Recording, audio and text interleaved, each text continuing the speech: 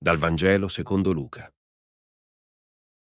Nel nome del Padre, del Figlio e dello Spirito Santo. Gloria a te, o Signore.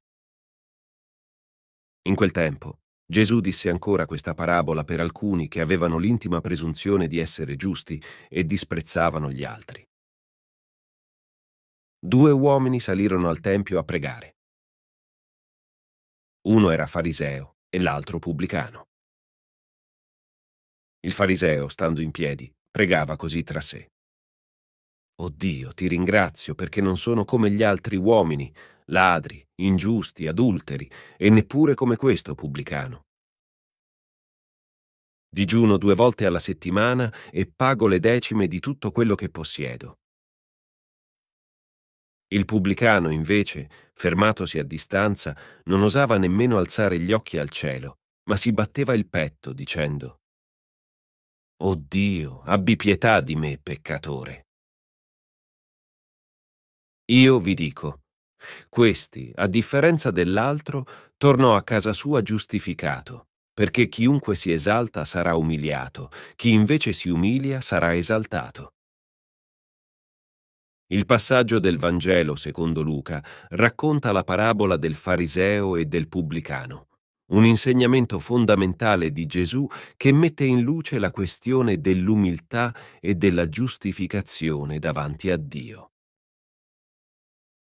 In questa parabola Gesù descrive due uomini che salgono al Tempio per pregare. Uno è un fariseo e l'altro un pubblicano o esattore di tasse.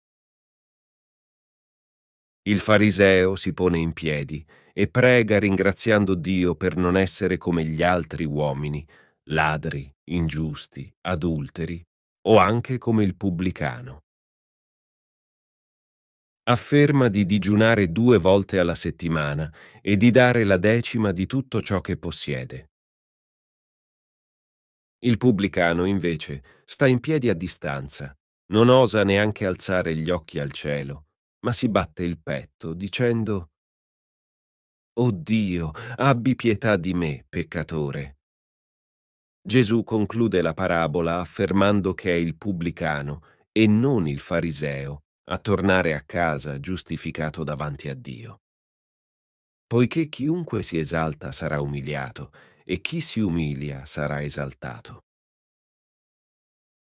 Questa parabola ci insegna l'importanza dell'umiltà e della consapevolezza della propria peccaminosità nel rapporto con Dio.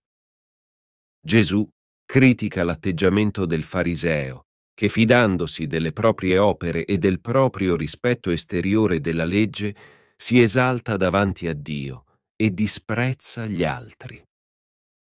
Al contrario, il pubblicano, consapevole delle proprie mancanze e della propria necessità della misericordia divina, si approccia a Dio con umiltà e contrizione e per questo viene giustificato. La lezione fondamentale di questa parabola è che la giustificazione davanti a Dio non si ottiene attraverso le opere esteriori o l'autogiustificazione, ma attraverso un cuore umile che riconosce il proprio bisogno della grazia e della misericordia di Dio. Che la grazia del Signore Gesù Cristo, l'amore di Dio Padre e la comunione dello Spirito Santo siano con voi tutti.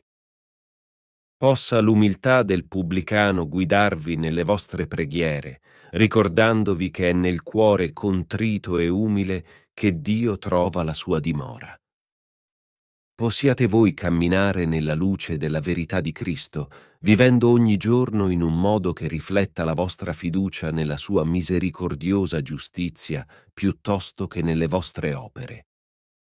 E nella vostra umiltà possiate trovare la grandezza del regno di Dio.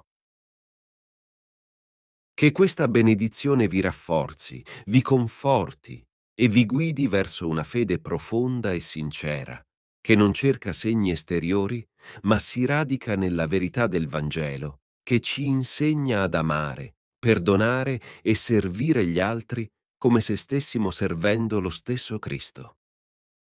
In nome del Padre, del Figlio e dello Spirito Santo. Amen.